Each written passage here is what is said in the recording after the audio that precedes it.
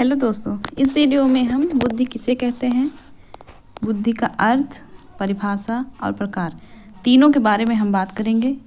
दोस्तों, यह topic B first year के सेकेंड पेपर अधिगम एवं मनोविज्ञान के लिए बहुत ही ज़्यादा इंपॉर्टेंट है, जहाँ से हर साल इस टॉपिक से क्वेश्चन पूछे जाते हैं। तो चलिए, हम जानते हैं बुद्धि किसे कहते हैं। पहले सबसे पहले इसका अर्थ जान लेते हैं। अब हम बुद्धि के अर्थ के बारे में बात करते हैं। बुद्धि शब्द प्राचीन काल में व्यक्ति की तत्परता तत्कालीनता समायोजन तथा समस्या समाधान को क्षमताओं के संदर्भ में प्रयोग होता रहा है। सभी व्यक्ति समान रूप से योग नहीं होते हैं। मानसिक योग्यता ही उनका असमान होने का कारण है। इसे कह सकते हैं कि बुद्धि, हर प्रत्येक व्यक्ति में बुद्धि अलग अलग टाइप का बुद्धि की परिभाषा के बारे में बात करते हैं तो अलग अलग मनोवैज्ञानिक के अनुसार अलग अलग तरह के इसको डिफाइन किया गया है। तो सबसे पहले हम वर्किंगहम के अनुसार बात करते हैं। तो इनके अनुसार कहा गया है कि सीखने की योग्यता ही बुद्धि है। यानी कि जो व्यक्ति जितना जल्दी सीखता है, उसकी बुद्धि ज़्यादा है।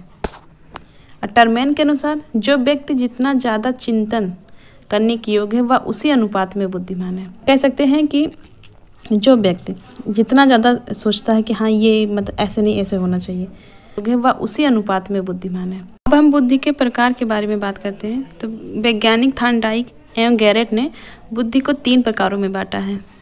पहला है अमूर्त बुद्धि दूसरा है मूर्त या स्थूल बुद्धि, तीसरा सामाजिक बुद्धि। है अमूर्त बुद्धि। अमूर्त बुद्धि व्यक्ति की ऐसी बौद्धिक योग्यता जिसकी मदद से गणित, शाब्दिक या सांकेतिक समस्याओं का समाधान किया जाता है। अमूर्त बुद्धि का प्रयोग करके हम पढ़ने, लिखने एवं तार्किक प्रश्नों में करते हैं। कभी साहित्यकार, चित्रकार आदि लोग अमूर्त बुद्धि से ही अपनी कला का प्रदर्शन करते हैं। यानी कह सकते हैं जो अमूर्त बुद्धि के लोग अधिकतर कवि, साहित्यकार, चित्रकार, ये ये सब जितने भी लोग होते हैं, अमूर्त बुद्धि के होते हैं। सेकंड है मूर्त या स्थूल बुद्धि।